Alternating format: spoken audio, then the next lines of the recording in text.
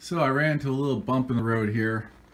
Uh, the tracks did not line up after a week of using it and I couldn't figure it out. But I finally figured out that this uh, fold down table is sagging in the middle. From gravity it start to settle and therefore causing about a more than a 16th of an inch um, misalignment with the track.